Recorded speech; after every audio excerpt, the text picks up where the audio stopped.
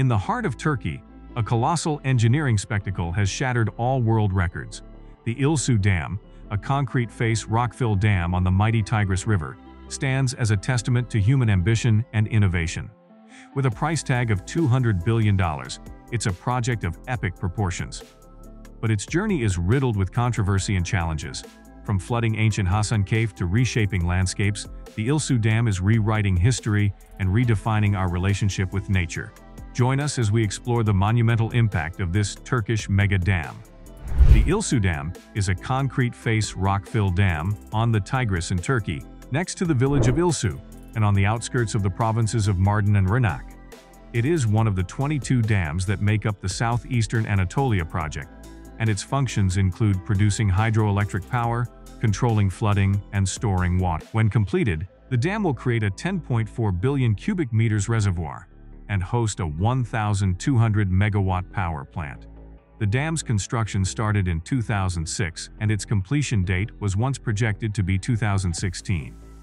The significantly smaller Kizre Dam will be built as part of the project for irrigation and power. The Ilsu Dam's impact on historic Hasankeyf and local communities is profound and complex. This ancient city, with a history spanning over 10,000 years, now bears the brunt of the dam's consequences. Many of its historic structures and archaeological sites are lost beneath the dam's reservoir, resulting in the irreparable loss of cultural heritage. The dam's construction has also necessitated the displacement of local communities. Villages and hamlets have been relocated, while others face partial or complete submergence, disrupting residents' lives and fracturing communities. This multifaceted impact has ignited an ongoing and impassioned debate about the delicate balance between progress and preservation. As a result, the dam lost funding from abroad in 2008. Prior to the dam being filled, the majority of the historic buildings in Hasankeyf were transferred to the new Hasankeyf. Late in July 2019, the dam's reservoir started to fill. Rainfall has caused the dam to fill to a height of up to 100 meters above the riverbed and to hold 5 billion cubic meters of water. On April 1, 2020, the water level had risen to a height of 408.2 million. After finishing the testing of the spillway, DSI began testing two turbines for the generation of energy. The dam reservoir now contains 7.6 billion cubic meters of water. On April 19, 2020, the water storage crest level was 513 meters. To reach the highest storage level, a 12-meter increase would be required. Its power plant is expected to reach full capacity by the end of 2020, and the first of its six generators was put into service on May 19, 2020. Since June 19, 2020, three hydro turbines have been in operation, and three more are being tested. The dam has so far provided $51 million in energy to the economy. The EIE had finished evaluating the sites technically and economically by 1975.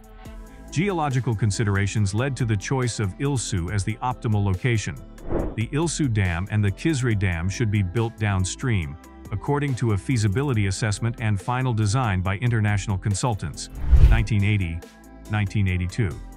Before the dam was formally included in the State Hydraulic Works Development Program in 1997 or 1998, there had been little progress on the project for more than 15 years. The dam's first stone was set, and initial construction started on August 5, 2006. 96% of the building was completed in June 2017. The dam's construction was finished in February 2018. Due to the lack of water in Iraq, the reservoir's impoundment was scheduled to start on June 1st, but was postponed until November and then 2019 after further detail. Late in July 2019, impoundment got underway. The hydroelectric power generating would begin in February 2020 as of November 2019. As of 1 April 2020, the dam's water elevation level was 498.2 meters as a result of rainfall.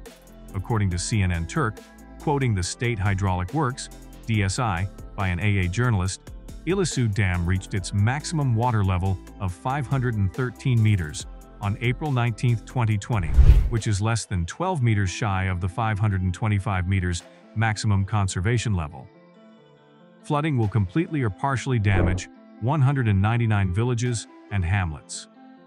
Many of the hamlets in the area have been depopulated as a result of the 30-year battle between the Turkish government and the PKK, and as a result, not only the others who currently reside in the area, but also their original residents will never be able to return home.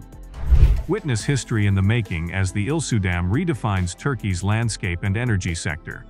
With its reservoir slowly filling, it's set to deliver 1,200 megawatts of power and much-needed irrigation, promising to meet the region's energy and agricultural demands. However, this transformation comes at a cost, as the dam's impact on historic Hasankeyf and local communities sparks an ongoing debate about the delicate balance between progress and preservation. The story of Ilsu Dam is a testament to the complex interplay between development, heritage, and environmental stewardship, leaving us to ponder the path forward.